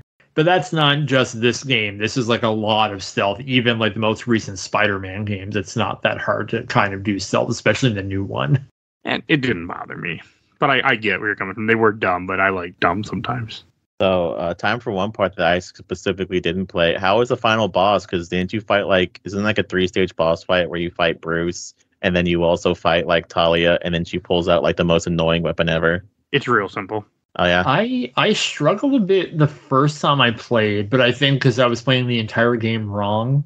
Uh, but the second go rounds, it was a joke. Okay. I also played on very easy at that point because I, I got to a point with this game. I'm like, it's Saturday or no Friday, Friday or Saturday. I beat this game. I'm like, I want to move on to the next game, so I need to finish this, you know, right now. So I just put on very easy because Travis, who was supposed to be on this episode, but unfortunately couldn't make it. He got, he got sick. He was like, just playing on very easy. He's like, enjoyed the story. They just have more health. you know, they're just going to be more spongy, and they're already spongy enough. So And Oh. that's something that bothered me was that like because you have skill trees and you get more powerful and you get better weapons and and the way I th- I remember talking to my my former roommate about this and I said it's like essentially if you play Pokemon and you go to the, the entire map and you go back to the first town and the Rattatas that you killed are just as powerful as you are now because it never feels as you're getting stronger yes and no. The the story missions I felt cap out at whatever level they're supposed to be. The regular premeditated crimes they level up with you. Okay. But not like the mission based stuff. Like for Clayface Harley Quinn, it would tell me oh here's yeah the you have to suggested be level. 21 to 24 or something Yeah, and if you wait a while, it would be like just nothing except for the boss fights. Same with like the story missions. It's luckily none of those. It's just when you're running around in the city that level up with you, so that way you have a challenge. And that's most of the game is just Yes. fighting those random dummies in the cities, which Right. I loved it. I, I usually Uh. don't do this in a game, but every single night I was out, I would do every single premeditated crime. I would stop majority of little crimes I would see. I just couldn't stop playing. And I don't know that just because I hadn't played open world games since Infamous 2, I think is the last one I played for this podcast. So it's been a while and I was just absorbed into it or what it was, but I was just I did all like I did all the ones where you're trying to put the the stuff for Bruce Wayne, so you see him dancing in front of a penguin. I did all those missions. I did all the little mission you get the audio logs. I didn't do the the stuff where you had to glide and do all that crap. I tried once and said nope. But I was just in love with this game for a while. It was weird. I really loved all the open world content. like I would even just fly around the city. I mean, I got fast travel and I started fast traveling more, but I would even just every time that Montoya or those other people that you talk to, Penguin would be like, Hey, you know, come back here. You know, you finished you did you did you beat up X amount of people. Here, get some free stuff. And I would just go, sure, I go over, get the experience, and go back to whatever I was doing every single time. I really I really love Penguin in this game, and I'm bummed. I mean, it's different takes, but in Suicide Squad, I believe Penguin is uh, one of your gun dealers, and it's Nolan North, so it's like Of Cockney it is. Penguin again. But in this game, it's Elias Tufexis, and I really love the legit Penguin and just his his cadences for his voice. it was good. I I I like the fact that he's working with you. Like you find out that the court of owls didn't like him, and he was the one person not getting out of jail and had to serve his actual terms and stuff. Like Mhm. little things like that. And that scene when you go when you go to him and he's t- stuck up to the wall with a towel, and he's like, "I'm sorry, but it was either you or me," and he betrays you, and you get thrown in the freaking pit.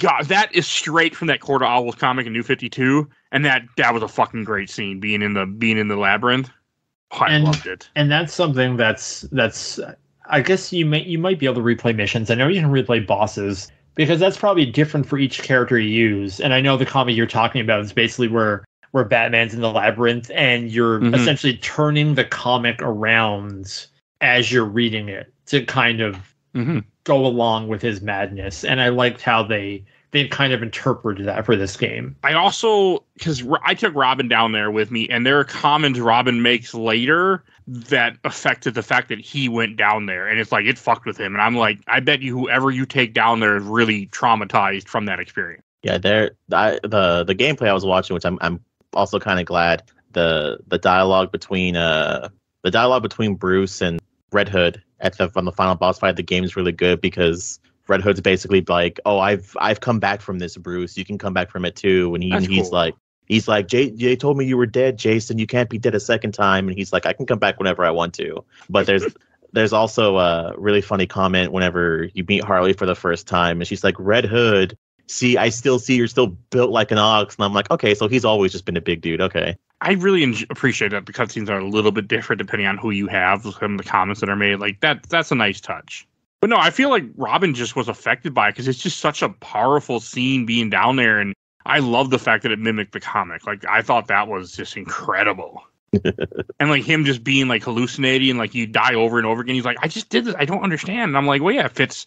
It fits down there because you're being gassed. Like you're drugged up too, so you're not. What you're seeing is not really what you're seeing too, and I love that. I love the fact that the talons are just they're using some of the stuff in the Lazarus pit to make talons, and I'm like, this is awesome. And I didn't like fighting talons just because you had to do the the the strong range attack. You had to hold down wide. And I didn't like that, but other than that, they were fine. it was just annoying, but it was fine. You had to switch with the combat a little bit, but it was cool having talons. I I, I just love everything Court of Owls, and because of this game, I am now at some point going to be doing the other comic arc of Court of the Owls on this podcast. Hopefully, recording next month. So, because I just I need more Court of Owls. Is it like a redo? Like, they, yeah, they, they ma- remake the comics every like year or whatever. No, it, I don't really know about it. It's just an, it was just a big like it was a big event, and it has to do with them as the villain, and it's the only other villain arc they have, like main one, hmm.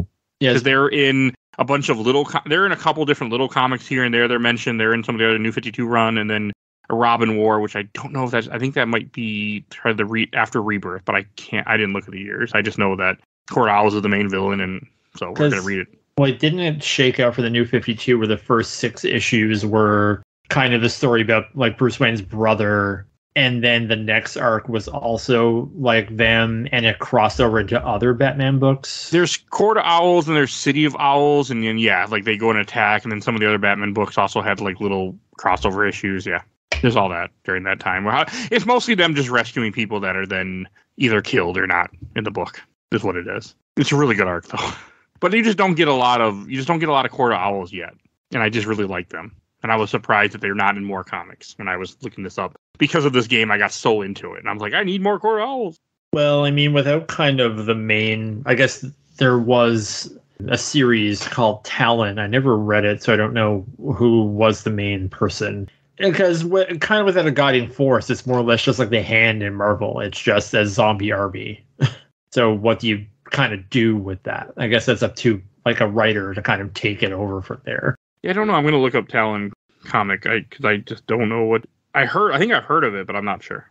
Oh, I'm curious. It was by James Tynion, but I don't know anything else about it at the moment. But yes, there's a couple of them. Okay, I didn't even know this was a thing. Now I'm curious. Okay, you you came out in 2014. All right, you got me another book that I'm gonna have to read now awesome. because I I try to read a lot of comics now. I just really enjoy reading them. So oh, there's a whole bunch of Talon stuff. It went for a- it went for a bit. It looks like it went 16. It went 17 issues. Might as well be a hundred in new comic terms.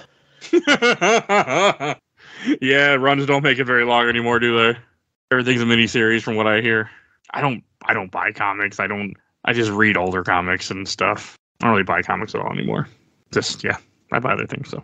Like games. lots and lots of games. Right. uh, I, I did try to think we mentioned the fact that like you have different people that give you missions or just that are just like go do this essentially so at least you're getting more rewards for your trouble.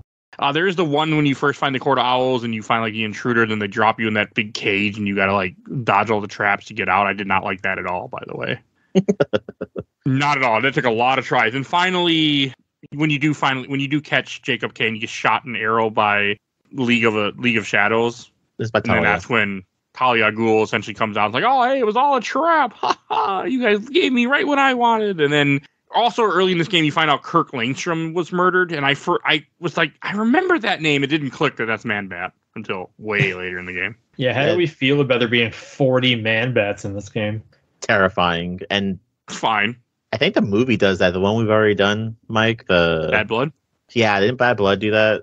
I don't remember. Yeah, because they they've been doing a weird thing where they've been making it where like Kirk Langstrom isn't man bat. He just kind of makes other things man bats and other man creatures. I'm fine with that. Like I I unfor- unfortunately spoiled that for myself. I was looking up I was looking up that last chap that second last chapter and I wanted to see what the boss fight was, if there was one, and said man bat. I'm like, God damn it, I would have liked to have been surprised. But no, I was fine. It, it's cool you get to go chase some man bats around. Like that was fine. I love the murder mysteries in this, where it's essentially, oh, here's a bullet from this district. Here's a person who got murdered in this district. And it's like, okay, yeah, it's those two things. You're just like playing search for the clue to find the two ones that are most obvious. Those are fine. And also with the clue stuff, if you just put the wrong stuff in enough times, it just gives you it, it just says you want you want the solution. I go, Yes, yes I do. Here's That your was nice, participation badge. It was either that or look online. So I'm like, well, I don't want if you're if I don't have to look online, I'll just hit buttons so you tell me the answer. So Well, most of the stuff is like, here's a like, it's almost like my brother when he played a Zelda game. He always used to click through the dialogue and just read the highlighted stuff. so he'd just be a blah blah blah blah blah, Temple of Time, blah blah blah, Hero of Time, blah blah blah, hook shot, okay, and then he'd go. And this is just like blah blah blah. Bullet in Southwest Gotham, blah blah blah. Murdered in Southwest Gotham. Like, okay, it's those two. Those will bring me to the body. I didn't mind the little things where you go. I thought that was kind of cool. You got like you had you did have a decent amount of detective stuff in this game too, which was fine. I really missed Detective Vision, and you just had the AR was not the same, but it's fine. Yeah, the, the interface is kind of confusing because I know you were talking about doing the missions where you have to plant the evidence yeah. to basically trick people into thinking that Bruce Wayne and Batman are the same person and triggering like the plates.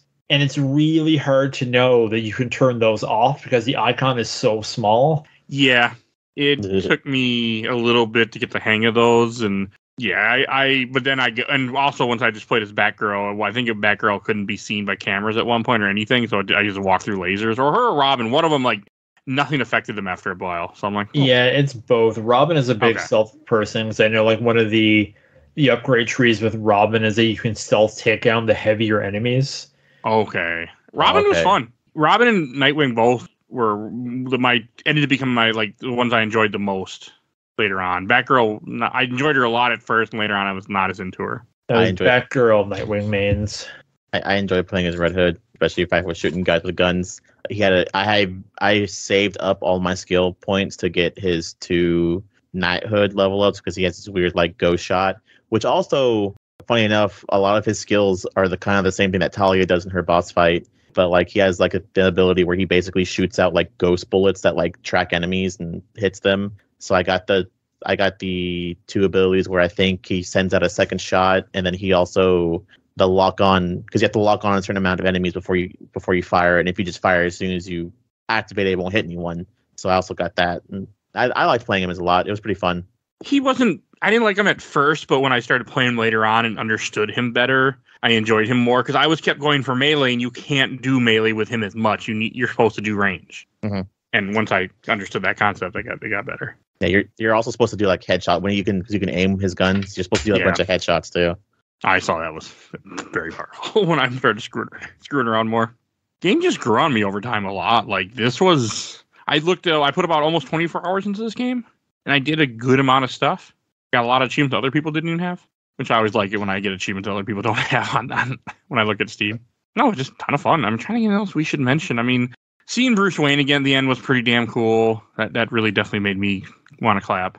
See, it did until the end. I oh boy, do I not like the um well the, to bring him back and then kill him, I think is really stupid.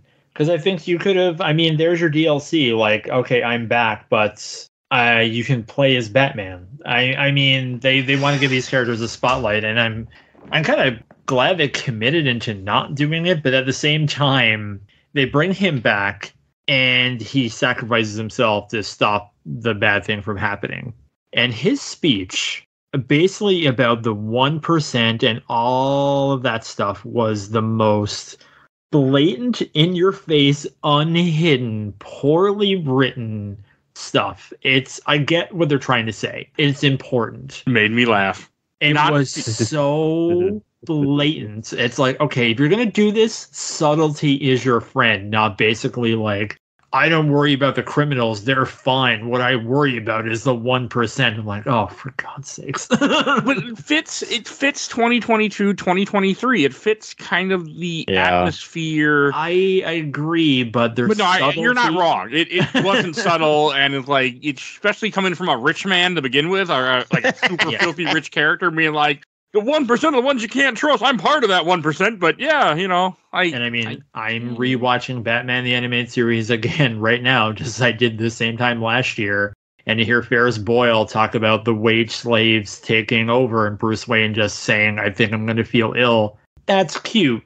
Him basically giving like a taken straight from a TikTok, like whatever message, like, eh, not so great.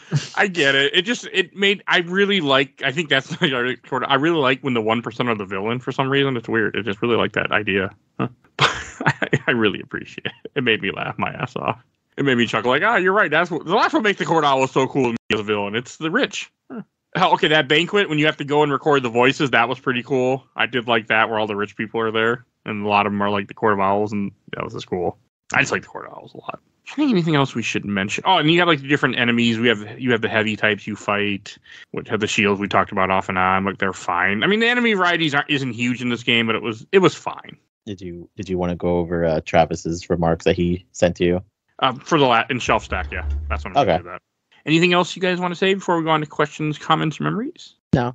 Okay. All right. I should probably pull that up before I ask that said question. Oh, yeah, while we're doing that, my comment at the top. Boy, they really doubled down in that Ricky Martin cover, didn't they? You know that that was probably when at the moment where I was like getting really into the game because I started playing and I was like, oh, this is fucking awesome. There's a Ricky Martin song in here. He- That's uh whenever when you're break when you the first thing in the mission with Harley Quinn, they're playing "Living La Vida Loca" and they play That's why I again at the recognize that song. That's why Okay, I- I said it heard it, I'm like- I really like this song by a female. I'm like, I can't remember. I don't know what song this. I can't remember what song this is, but this is really good with a female singer. I did not realize it was "Living La Vida Loca." Okay, That's why I made no wonder I liked it. That was my introduction. It didn't make any sense to me at the time. Now it does. Now I want to Yeah. go look that up. And they played that, it I- again during the credits. yeah, I was uh I, I think whenever that song started, I, I was like, um, I was like really feeling it, and I, I was actually having a lot of fun on that part. Like oh, that Harley Quinn shit was awesome. Harley Quinn's crazy. We need a song about being crazy. Uh, what about "Living La Vida Loca"? I'm like, oh, perfect. hey, Oh, you know what? It worked. It worked. I didn't even realize was that was the song, and now I can't believe I didn't re- I realize it was like, the song. What is this? You know, I'm gonna have to look this up again. I. It just it just, it, it fit Harley Quinn. It fit. I just remember thinking that wow, this really fits the part that I'm in, and I just I- couldn't figure out what song it was. I'm I'm always a sucker for like like playing like either music or playing like something really good whenever you're like fighting in a in a boss fight, especially when it's like kind of like a optional boss fight or whatever. So Yeah, Yeah. I'm, I'm a s- I'm also a sucker if you're on a farm and they're playing a song in the in the background while you're lighting up fireworks and fighting shadow demons. I'm a sucker for that. yeah, and it's weird because I have like three or four nickels for that. All right. Uh, questions, comments, or memories from the I Watched the Entire Overblood Super Replay group from Joshua Caleb. I played a chunk of it, and I very much enjoyed being Batgirl, but the early progression pacing is a grind, and the little detective segments are cool in theory, but often just became pixel hunts. But overall, it is a fine game, in quotations. Probably the most average a modern Batman game could be. Okay? From Frank Hurley. As I get older, I need a game on two budgets, money and time. And since this one was announced, I knew damn well it was going to be available for 19.99 in a Walmart bin eventually. I'm excited to play it at some point, just waiting on the right price point. That's fair. Should not pay seventy dollars for this game. Uh, see From Brew D Mace. The game is a very watered down version of Arkham Knight. Combat is way more sluggish and choppy compared to Batman, with less gadgets and ways of handling enemies. The, the city is significantly brighter than previous installments. The lighting is poor and it feels extremely empty compared to any of the Arkham games. The cutscenes are well done, but anything gameplay related falls short of previous entries. Apparently, you didn't play Arkham Origins, where everybody's out for Christmas and no one's out in the streets. Yeah, as, as much as people, as much as ham handed that comment is, I'll I'll always say like people always argue like if anyone ever argued like oh well, there's not a lot of people in this game. There's never anyone in any of these games. Arkham Origins has its Christmas. Arkham City is I guess it's supposed to be yeah it's a jail, and then Arkham Knight they use the excuse that uh the fear toxins going throughout the city, so everyone's evacuated. So there's never really anyone in any of these games. Yeah, but then Spider Man came along and like there were people in the streets and you're saving people. Wait, you, you, you can argue with like the Spider-Man game, but you can't argue with any other Batman game. All the Batman games don't have anyone in the For sure. And and I know for like say everything up to Knight, it was probably just well, it's the Xbox gen or 360 generation, so we can't really do that many people on the streets at one time. It's part of the technology. But Arkham Knight, yeah, there's no excuse there because it's really weird being a superhero, but you're not saving anyone. That's fine. You're beating up people. That's fine. Yeah.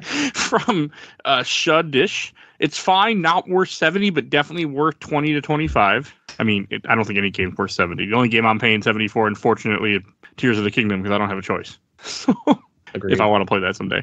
Uh, from Devin Lake, I've been thinking of downloading this. I saw the bad reviews like you and initially lost interest. However, everyone I know that's played it has said it's fun but nothing great. Maybe lowering expectations is what this game needs. Yeah, I mean, I went into with low expectations and had a fucking blast. So, yeah, play it with low expectations and you'll have fun. And just don't, you can't expect Arkham. You just can't. Mhm. Because if you do, you will be very upset.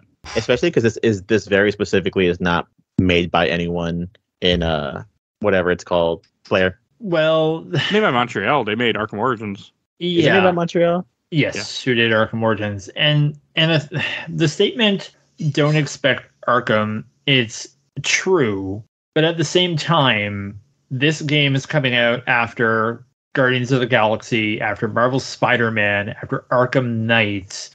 You're expecting a certain level of quality, and people are apologetic of this game, and I think it's people love it, but then there's also people who think I love it as a seven. Whereas something like the Arkham series were so transformative and the quality for what a Batman game, even one with the Batman family, is is so high.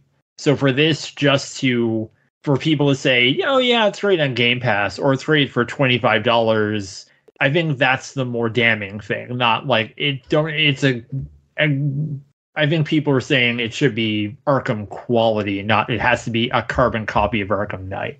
That's fair. I just know that when I first started playing, I was expecting Arkham Knight, and it took me a bit to remember I'm not playing Arkham Knight, and I have to not do that. And that was the same thing with like say Marvel Spider-Man. Because remember the first time I played that, I was also trying to play like Arkham Knight because that's kind of like what the benchmark for superhero Yeah. games was. That's fair. Okay. And from the official Laser Time community, uh, first one from Trash Bandicoot. I'm sure that's his real name. Uh, interesting. I'm glad to hear that I finally got a PS5 the other day and just downloaded. I was too, I too was initially excited but worried because of the reviews. It wasn't an issue because I couldn't play it until yesterday, but I decided to try it. When I finish RoboCop, I'll dive in. All right. And from Philip Monroe, I was the same, but I grabbed it on Game Pass. I've only played through the tutorial missions, but I'm excited to play more. From Jake Terrell, this game rules. Lots of great character moments and references to the comics. Combat is fantastic, and all four characters play different, bogged down by a Destiny ass loop mechanic, but you can pretty much ignore it and just play the game. It stands pretty well with the Arkham games. From Jim Price, if you don't expect to be an Arkham game, it's pretty fun. From Colby Johnson, I beat it last week and I absolutely loved it. From Michael Damasio, I'm having a hard time getting adjusted to the gameplay, especially with the traverse system. I keep trying to glide, so I'm still kind of split on it, but I can continue playing it to see based on your critique. Okay, I hope you enjoy it. And from Joseph Story, I wish the game wasn't based around loot and crafting. It's unnecessary and brings down the game as a whole for me. Not every game needs to be Destiny or Borderlands. That being said, I think the game is fine. The story is interesting, so that be what eventually brings me back, as I do want to see how it plays out. Combat is a bit of a slog sometimes, with some fights dragging on way too long. I can imagine that further upgrades to all the characters will help in that regard, but it's slow going. Finally, Barbara Gordon for the win. From Andrew Harbert, I thought the reviews are way out of line personally. It's not Arkham City, but I think it definitely holds its own among Arkham Origins and Knight. P- People still didn't like Knight, did they sometimes? I know I didn't at first. I fucking loved it last time, but I remember correctly. It's been a while. All right. And from Alex Homito, it was a cool time. I think the story was very predictable and it, it, it hit way too many cliches for the four person group dynamic for me personally. I did enjoy the side activities, and I really think this is one of those that should have had should have had a performance mode. I remember the the developers saying that the world was so detailed that 60 frames per second wouldn't be feasible. After playing through the game, I personally didn't see why it couldn't have been. But I'm no dev. Last boss was way too hard. I nearly walked away, and I can't say I was glad that I didn't. I like this middle. I like the middle a lot. Discovering side activities was cool, but the main story was meh as hell. I love Batman and his family. I'm glad they got a game. I wish it was better. Okay, those are all fair, fair statements. And from Carl Schofield, I'm going to try it again, but I was having such a hard time getting into it. But it is a Batman adjacent, so I have to beat it. And from Jordan Ching, I bought it on sale and enjoyed what little I played of it. I decided to wait until they fixed some of the performance issues, but I'm looking forward to finishing it sometime in the future. Okay. And from, I think this is the, yeah, the last group I have from Giant Bomb. I got more than I thought I did. So, uh, from Neil Fowler, this game that could have been was better than it is. The combat straight up doesn't feel good to play, and the entire open world system is clunky and un- unintuitive. It really doesn't help that the story feels very half baked, just a massive disappointment on all fronts. They should have done a straight Nightwing or Batman, Batman Beyond game. I mean, I would love a Batman Beyond game. We're never getting it, but I'd love one. Oh, that would be so good. Yeah, one day. Yeah, Well, not not if you read the Warner Brothers CEO manifesto. oh, you got to wait until that fucker's out. So, I yeah, I give that guy like another year, especially with the IRS apparently looking into him shelving movies for tax reasons. Well, they You know- had something where it was like, oh, we want to leverage live services for all of our games going forward. Oh, And it's don't like- tell me that. yep. Oh yeah, it was in like they they had a transcript of a CEO meeting, Warner Brothers Discovery, and then a whole hubbubaloo came out that Wonder Woman might have it. But they're like, no, no, no, it's not going to have it, even though Mordor kind of had it, the second one. So we'll see what happens. Yeah, I, I don't trust them until the game actually comes out. I mean, if they can find a way to put like the, the thing with game of services though, you can if you make every game a game of service, you're just gonna eat each other because the game of services you're gonna have certain people that are gonna play like this whole idea that every gamer you're gonna get is gonna buy all three, four of your games and then keep playing them and paying for them. Like it's not going to happen. I mean, Square Enix is already shut down like 20. Yeah, Like, they have a graveyard of dead live service games. You just need to get away. I mean, That's I, the- I'm hoping that. I mean, I play Marvel Snap and I pay Marvel Snap every month. Like they get my ten bucks, but you know it works for that. yeah. You The, do everything. these people are expecting people to pour in like, which is even weirder because Fortnite has different collabs like every other week. Don't expect people to pour hundreds of thousands of dollars into like, oh, we're gonna release like, like give an example, Suicide Squad. Oh, we're gonna don't. You can get the original costumes and you get costumes. Like, I'm not gonna pay for all of that. I'm gonna pay for whatever I like, and then that's it. Like, Yeah. you know, I mean, I've never, other than Marvel Snap, I have never really got into a game where I keep spending money on it every month like that. Like that just doesn't happen. have you seen uh go look up the the D, uh, Dead or Alive, the recent one? I think they said all the costumes cost like three hundred dollars for that game. Street Fighter Six tried to do something like that too. I thought with some of the I- co- with some stuff, or Mortal Kombat did it. Somebody did it, and it's just Mortal I mean, Kombat just- was I paid twelve dollars for a Halloween fatality. oh, yeah. yeah, there's dumb shit like that. But again, it's just like just don't do it. Like just play the game what it is. If you don't like it, wait till it's cheap. It will be. Most games are, and just yeah, like don't don't fall into these, these traps. And that and that's just. But I mean, gaming as a whole, something's gonna have to change. Because these AAA, like you can't keep spending millions upon millions of dollars on a game and be like, well, we only sold a million copies. Oh, we don't make enough, so we're shutting everybody down. Like you need to find a way to make this profitable, and you need to stop being stupid and maybe stop paying your CEO so much. But hey, all right. there's my little rant from Joey Gills. I tried playing it last week and I fucking hated how the movement felt. I uninstalled it. from Keith O'Donnell, I ended up enjoying it for what it was. For me, it was a three out of five game that violently flirted with being both a two out of five or a four out of five. I'm a mark for any Bat Family shenanigans and fought with myself over how much I enjoyed or hated the experience every step of the way. In the end, it deserved a little more polish and a little more variety and a little less hate from Alan J. I played it for half an hour. My favorite part was that the non lethal option involved repeatedly smashing two batons into a guy's skull. I don't know what they're talking about. I shot like several guys in the fucking face. But hey, remember those bullets only stunned them. They tested it. Remember? You saw the scene? They tested it. Yeah, they tested it. Mm-hmm. And from Nicholas London, playing it with my partner right now and having a blast. From Robert Seal, it was far better than I was expecting. I mean, there were a full Bethesda's worth of bugs and glitches, and there was plenty of stuff that I didn't like, but it was well. It was worth one good playthrough. Also, the amount of character-specific dialogue and cutscenes, depending on who you took into the mission, was really cool. From Nathan Gold, I played for about three hours and couldn't get into it at all. The combat is just not compelling, and the 99%, and that's 99% of the game. And last comment from James Nathan, God, God, this game is an absolute ass. Combat feels terrible. Getting around is anything but smooth. It's slow. It's glitchy. It's just a terrible product through and through and ruins whatever glimpse of redeeming quality the story could bring. I don't think he liked it at all. Okay. All right. And before we go to Shelf Stacker Box, I should give away a code. Ooh. Because I need to get rid of codes. Here is Baldur's Gate Enhanced Edition. So if you want to play the first Baldur's Gate, here you can. The Steam code is M I H six nine Q T P two P N T K V T. That is your code for Baldur's Gate Enhanced Edition for Steam. So congratulations, somebody.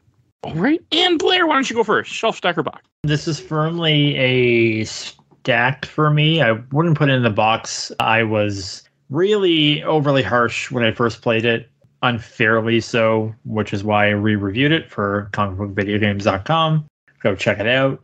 There are things that I do like. It's just a lot of things that I don't. And it's again, it's a case of I'm not angry, I'm just disappointed because I expect more from this team, especially coming off of how much I love Batman Arkham Origins. And I'm just really hungry for DC games because there's been a bunch of Marvel games, and this is, you know, there's no Superman, there's no Green Arrow, Green Lantern, and I maybe put too much faith on this one to kind of get me in. But now it's on Game Pass and PlayStation, Super Turbo Ultra Revival or whatever. Go check it out for yourself. All right, and Joe. Uh, I had as much fun with it, but like I said, this game does does have some issues. I agree with Blair.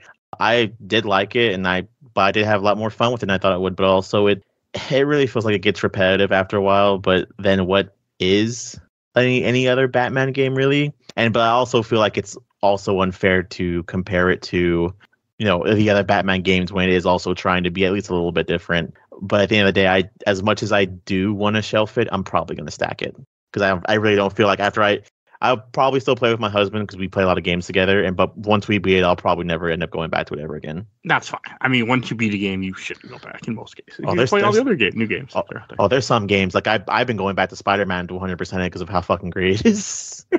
I can't do that. But then again, I, I do this, so that's well, what. it's, it's just fun to do, and it's the same concept as here, where it's like I a lot of that stuff gets easier once you have all your character fully upgraded. So Yeah, I just I can't keep playing a game after I beat it. But I do go back every so often. And I mean, hell, I'm playing the game. I, I can't believe I I know we're at the end, but uh, in New Game Plus, what's the bummer is that you have to do certain things over again.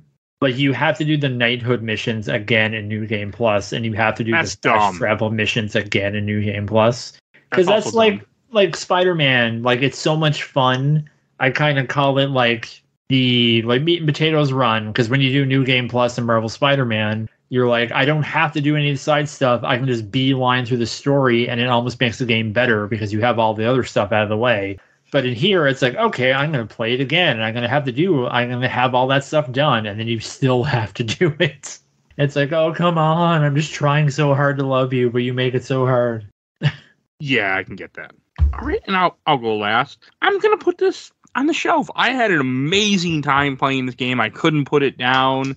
I would take my Steam Deck to bed with me like every night and play until the battery died, which was about two hours. so there's some there's somewhere around there I never really kept track, but it wasn't that long. It felt like and just had a lot of fun. Like I just really enjoyed this game. I did all the side stuff that I could do for the most part, and just kept playing until I just like, okay, I need to finish this. But it was just a really good time. And I I don't know if it just I hadn't played a lot of open worlds in a while, and this one just really grabbed me. I think that might have been part of it because I've played open world since then. and I'm less interested, but great game going on the shelf. So happy I finally played it and just had an amazing experience. Right, and I do have a little bit of something else to read. Travis, uh, who was going to be on this episode, who unfortunately couldn't make it because he got sick, but he had a big thing for me to say. So this is from Travis Wayne. Uh, let's see here. He just wanted to say Gotham Knights is a game that was made for me and a particular group of folks who kind of find more appealing the Bat family rather than Batman. I'm a huge Batman fan, but Robin, Batgirl, and Nightwing mean more to me.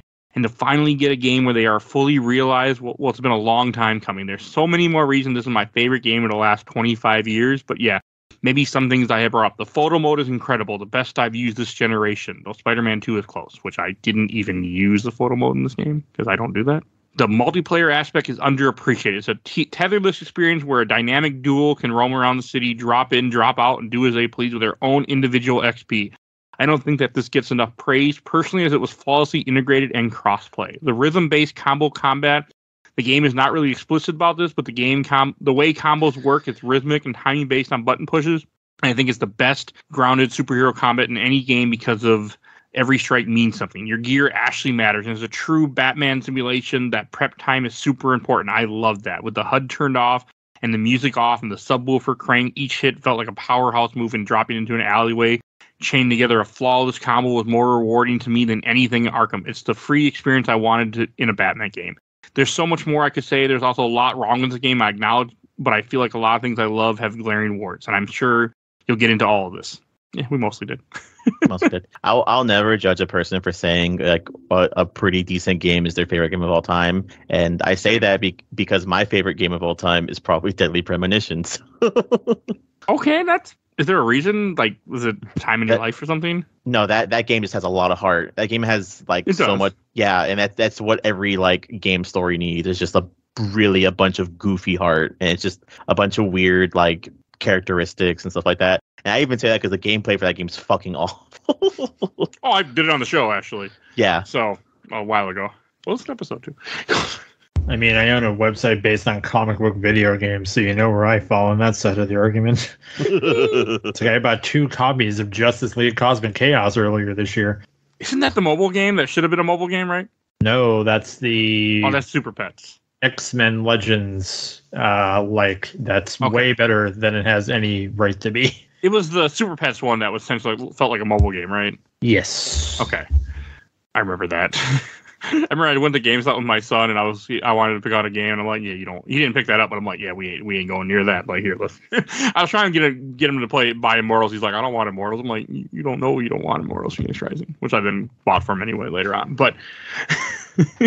kids don't know. I forgot what he picked out to. That's neither here nor there. All right. And I should introduce what we're talking about next week. To continue my open world thing for some reason, we are talking about Infamous Second Son next week. So you can look forward to that. A game that I had never played until this week. So that I have bought two copies of by accident, I found out too, for PS4. Two copies, bitch. I hope Ken listens to this episode. I really do. Oh, uh, so All right. And Blair, where can people find you at? Uh, you can find me at comicbookvideogames.com, uh, where you can read my review of Marvel Spider-Man 2 and the most recent Hellboy game. Uh, and the date of this recording, I have the Turok 3 remaster and Arkham Trilogy on Switch to look forward to. So look forward to that in the future when I have time to play both of those to a point where I can review them. You just gotta quit your job, Blair. yeah, talking about superhero games really pays the bills. I have like dozens of readers a day. Dozens. I completely understand. I make a profit of five dollars a month from this podcast or so, like something like that. So that's five dollars more than what I make a month on comicbookvideogames.com. Look, just, just stream your. All you have to do is stream the games you're reviewing in a bikini, and I'm sure you'll get tons of money. If I was a hot girl, yes. but I'm not. But I have thought about streaming. But I think that does help. I really do think that does help. Stay tuned. I'm thinking about it. I, I I get enough TikToks because I, I must have clicked TikToks of, of, of hot women dancing and things, and all of a sudden I get tons of videos. I'm like, hmm, okay, you got me TikTok. Like I understand. Same. I remember just my wife like, why is it always women on TikTok? She's like, what are you talking about? I'm like, oh, hmm, that's just my algorithm, huh?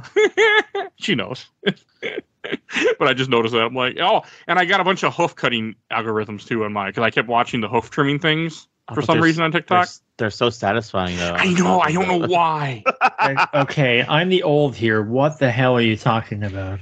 well, they're well for cows they trim the hoofs. Oh, okay, Yeah, so they it is do, a and- cow thing. I thought it was a song like No, I- no, I it's an actual cow it thing. was like- that, but I was like, some is this like a new term that I don't know that the kids No, were no, it's not and this is anything weird. It just there's a guy called Nate the Hoof Doctor who I started watching the video where he'll he'll trim a cow's hoof and he'll talk about like oh they've got an infection here and this is what I'm gonna do to you know to clean it up and to make the cow feel better and just little things like that and it I started watching them and I started getting more and more trimming and I started getting horseshoe and I I don't know what it is but they work they're just like you just like that quick little like five you know minute fix of just watching a video and then you yeah I Okay. don't know. I was wasn't sure if this was just Yeah, like, no, nothing weird. It's actual hoof trimming. I mean, I do get some weird shit on TikTok, mostly This is your boy. Nate something 2020 talking about like doing the new hoof trimming. Yeah, no, no, it's actual hoof trimming. But no, I, I, I make TikToks now. Actually, really dumb TikToks that have nothing to do with game my mom found, even though they're under that banner. But I do make TikToks. I make a lot of animal TikToks that I make literally from my desk that I'm sitting at when I look outside. Hey man, that's gold. People love animals.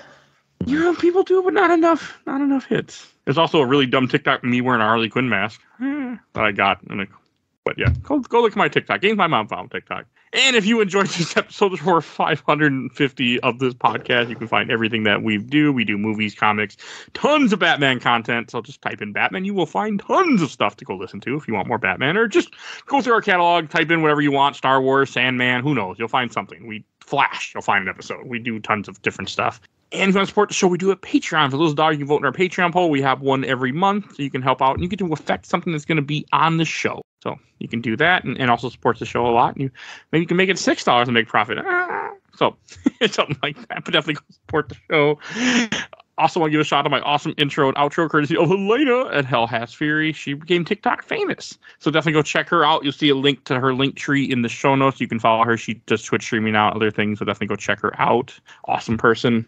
I uh, want to give a shout out to my uh, my buddy Bill Tucker to his own podcast, Gamer Looks at 40. Definitely go check him out. He's on hiatus at the moment, I think, till next year, but tons of good episodes to listen to. He interviews people, but much more family friendly show than what this show is. But go definitely check him out. And also check out Nomads of Fantasy, and their podcast. Uh, they support me too, so you should check them out. They're a good show. And if you want to talk with us, we have a Discord. Please join our Discord. I've been meaning to mention that in the, in the top of the episode so more people will join because they don't stick around for all this blabbing at the, at the end of the episode. But join our Discord, please. Chat with us. or just lurk and make the number go up and make me happy. That's uh, that's fine too. You don't have to say a damn word. Just join and make me happy. And please follow us on Facebook, Instagram, Twitter, Blue Sky, Threads that nobody uses, and TikTok and YouTube. Audio only, but we are on YouTube also. So you can go he- hear all hear everything that we do there. I think that's everything I need to say. So we will see you guys all next time. Bye, everybody.